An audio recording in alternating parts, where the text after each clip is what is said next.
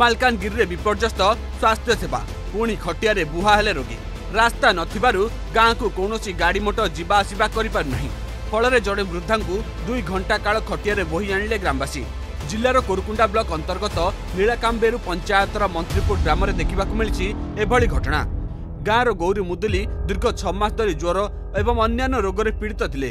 ଆଜି ସ୍ୱାସ୍ଥ୍ୟ ଅବସ୍ଥା ଗୁରୁତର ହେବାରୁ ବାଧ୍ୟ ହୋଇ ଘଞ୍ଚ ଜଙ୍ଗଲ ଏବଂ ପଥୁରିଆ ରାସ୍ତା ଦେଇ ଖଟିଆ ମାଧ୍ୟମରେ ବହି ଆଣିଥିଲେ।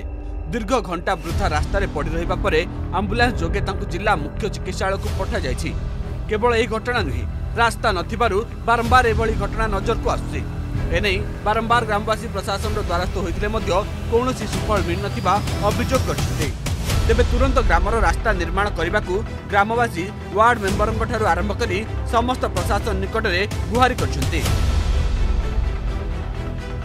রাস্তা নাই টোটালি আমার আজ্ঞা মুখ্যতঃ আমার রাস্তা নাই রাস্তা নথিবার আমি মানে বহুত অসুবিধার সেটি চলুছু বহুত মানে কষ্টকর মানে ডেলিভারি পেসেন্ট হোক কি আমার সিরিয়াস পেসেন্ট হোক নেওয়া মানে হসপিটাল নেওয়া বহুত কষ্টকর হচ্ছে তাপরে যে ঠিক টাইমে যদি হসপিটাল নেই পৌঁছাই নপারে জীবন কেতে লোকর গলা মানে চালিগলা যে কু অফিস কু যাই কহবু কু অফিসর কু যাই যদি পচারবু তোমার রাস্তা হয়ে যাব হয়ে যাব দেখুন আজ কি নেই আমার বাপা জেজে বাপা সবু ତାଙ୍କେ ଏଠି ଛୋଟରୁ ବଡ଼ ହେଇକରି ବୁଢ଼ା ହେଇକରି ମରିଗଲେଣି ଆଉ ତାପରେ ଆମର ଆମେ ବି ଏଠି ଜନ୍ମ ହେଇକରି ଆମର ବି ଅଧା ବୟସ ସରିଗଲାଣି। ହେଲେ ବି ଆଜି ସୁଦ୍ଧା ସରକାର ଏଟାକୁ ମାନେ ଗୁରୁତର ସହିତ ଏ କଥାକୁ ନେଉନାହାନ୍ତି।